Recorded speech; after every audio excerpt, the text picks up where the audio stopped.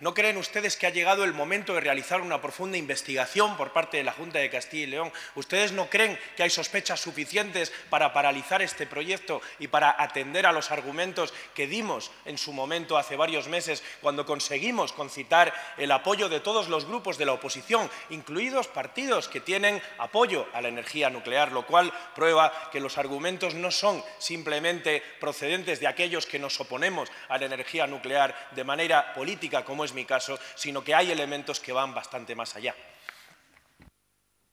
Para contestar el presidente de la Junta. Gracias, presidenta. Pero mire, eh, señor Sarrión, usted hacía referencia efectivamente a la, a la PNL en la que usted planteaba a esta Cámara votar a favor de una revisión de la declaración de impacto ambiental. En aquel momento se le puso de manifiesto cómo esa declaración de impacto ambiental, que le podría a su señoría gustar más o gustar menos, era un acto debido, era un acto reglado, era un acto ajustado a, ley, era un acto que genera también, como no, derechos, obligaciones y, por tanto, por contra, responsabilidades económicas. Y qué casualidad, se trataba de una declaración de impacto que nunca había sido impugnada en el momento procesal eh, oportuno. Usted ahora me plantea y plantea aquí el debate en torno a eh, rumores, en torno a eh, comentarios, en, torno a tramas y turbios manejos. Bueno, yo lo que le tengo que animar es que si, efectivamente eso existe y si eso va en esa dirección, em, em, proceda usted en el marco del Estado de Derecho a través del ejercicio de las correspondientes acciones. Pero lo que le corresponde a la Junta, lo que le corresponde a una Administración, es la aplicación estricta de la ley respetar los informes que realizan los técnicos de esta Administración o de otra Administración y, en función de esos propios informes, otorgar o no las correspondientes autorizaciones. Estamos, además, señor Sarrión, y usted lo conoce perfectamente, ante un proyecto que, por sus características, tiene una tramitación muy compleja, pero que es extraordinariamente garantista. hasta el momento, fíjese, ha recibido más de 80 resoluciones autorizaciones e informes sectoriales favorables otorgados por múltiples organismos de las distintas administraciones públicas. Son las reglas del juego, pero las reglas del juego del Estado de Derecho, las que dan garantía y las que dan también, como no, confianza en que en Castilla y León se pueden poner en marcha procedimientos administrativos que si proceden conforme a la legalidad serán favorables al final y si no proceden conforme a la legalidad pues encontrarán la negativa. Para un turno de réplica, el señor Sarrión. Sí, señor presidente, yo no me refiero simplemente a rumores, no me refiero simplemente a opiniones, me refiero a investigaciones que están en este momento desarrollándose. Y yo lo que pienso, sinceramente, sin realizar ningún tipo de acusación personal, es que creo que son ustedes quienes deberían estar preocupados, como preocupados están los diferentes grupos de la oposición que están en esta Cámara. Porque cuando hay indicios, cuando hay juicios que se están desarrollando, el primer interesado debería ser el Gobierno autonómico en clarificar si lo que nos quieren traer una empresa extranjera a nuestra tierra no es en realidad algo oscuro, puesto que parece que hay oscuridad alrededor. En todo caso, observo que lo que me está planteando es que están sentados para ver si les prohíben o para ver si se les impide desarrollar, cuando creo que deberían ser ustedes los que tendrían que tomar una decisión acerca de si aquí hay aspectos oscuros o no los hay. En todo caso, es un proyecto que más allá de este aspecto, más allá de que esa declaración de impacto ambiental, como pudimos demostrar durante eh, la argumentación y nos apoyaron todos los grupos de oposición, era una declaración que era incompleta porque no contemplaba varios aspectos como es la existencia de residuos, no meramente NORM, sino residuos radiactivos procedentes de la existencia de una planta de concentrado, que además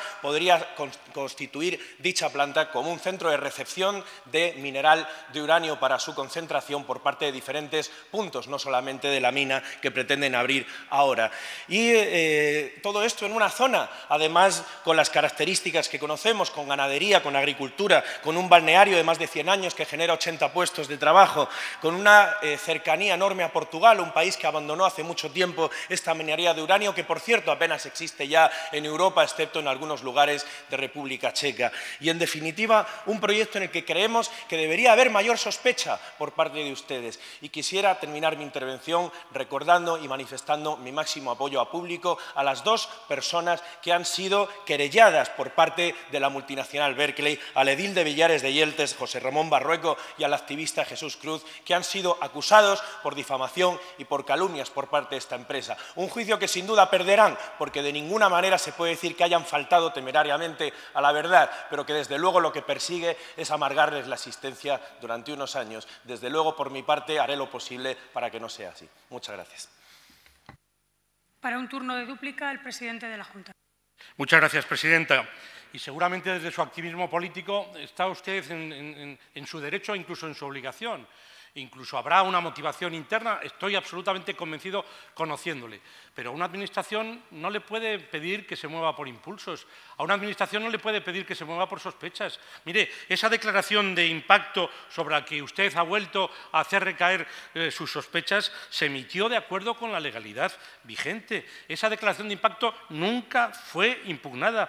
Esa, esa declaración de impacto se basó en criterios técnicos reflejados en los informes emitidos por los funcionarios competentes. Luego, Estado de Derecho, eh, todo el Estado de Derecho, eh, ni en favor ni en contra. Yo ni siquiera he hecho referencia a aquello que siempre se esgrime de, los cientos de millones de euros de inversión o de los cientos de empleos que se puede generar. No, no, no, es un acto reglado. Hay, unos promotores que tienen la, capacidad de, promover una iniciativa y la Administración tiene que poner en marcha todos los mecanismos que, vuelvo a decir, configuran en este caso un procedimiento especialmente garantista. Y usted sabe que en este momento concreto está pendiente de pronunciamiento eh, tres administraciones. Por una parte, el Ministerio de Industria en cuanto a la autorización definitiva de la planta de tratamiento. En este punto ha sido admitido por el juzgado correspondiente, por Audiencia Nacional, un recurso contencioso administrativo interpuesto frente a la autorización provisional del Ministerio de Industria. Por lo tanto, vamos a respetar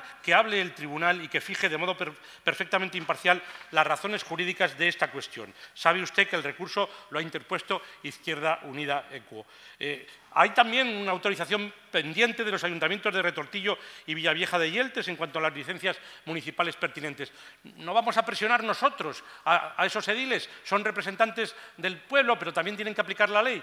Y luego también tiene la Junta, en cuanto a la autorización urbanística de uso excepcional, que usted sabe que en este momento no se ha podido otorgar esa autorización a la espera de que se subsanen por los ayuntamientos afectados algunos defectos de tramitación observados. Y le vuelvo a repetir, Estado de Derecho es también denunciar por la vía eh, penal, por la vía criminal, turbios manejos, operaciones oscuras que en definitiva hayan venido a entorpecer un procedimiento. Pero en, cuanto al procedimiento administrativo en sus múltiples facetas, especialmente en lo que se refiere a la declaración de impacto ambiental, yo tengo que respaldar a mis técnicos. Yo no puedo poner bajo sospecha esa declaración, sobre todo cuando esa declaración no ha sido ni siquiera por ustedes recurrida en el tiempo oportuno. Muchas gracias.